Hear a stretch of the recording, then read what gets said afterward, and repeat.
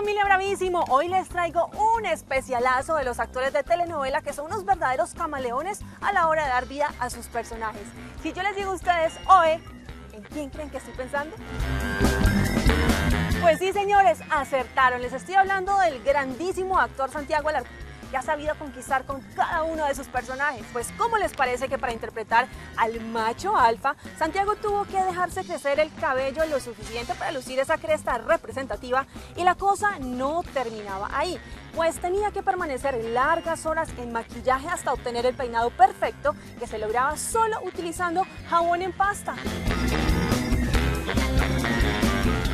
este personaje el actor tuvo que bajar solamente 10 kilitos, obviamente con la ayuda de su esposa, quien estaba muy pendiente de su alimentación, le decía, mijito, cómase esto, mijito, cuidado con las grasas, cuidado con las harinas, yo le llevo la gelatina, una mujer muy hacendosa. Pero no solo eso, porque además de las largas jornadas de maquillaje y efectos, nuestro querido Santi tuvo que usar tres prótesis dentales. ¿Y saben por qué? Pues ¿cómo les parece que Jaime Garzón, el original, tenía una enfermedad en los dientes que causaba que no le dejaran de crecer?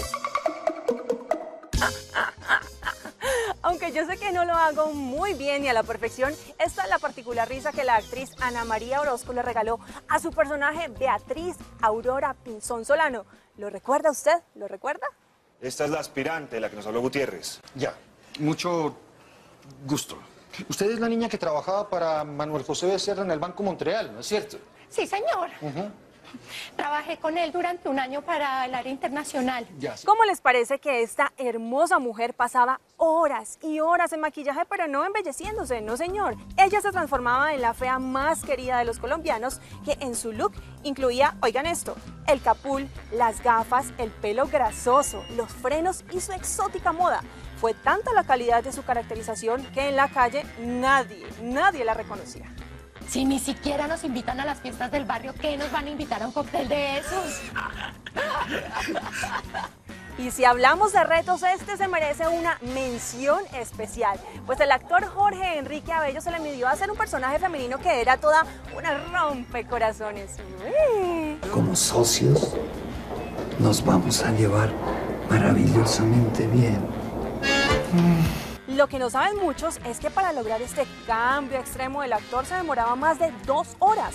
Además tuvo que aprender a ponerse medias veladas, utilizar faja y lo más difícil, caminar en tacones. Lo malo fue que con el tiempo el actor sufrió de dermatitis.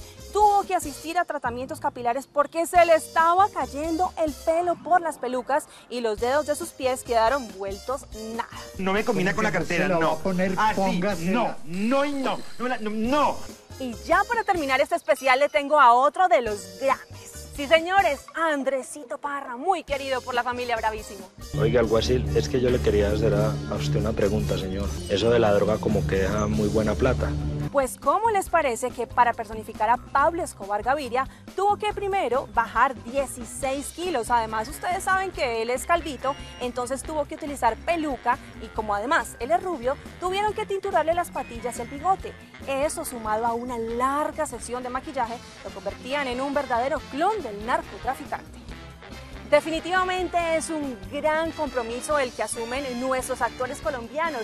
Un bravísimo para todos estos camaleones. Este fue un informe de Moni Molano para Bravísimo.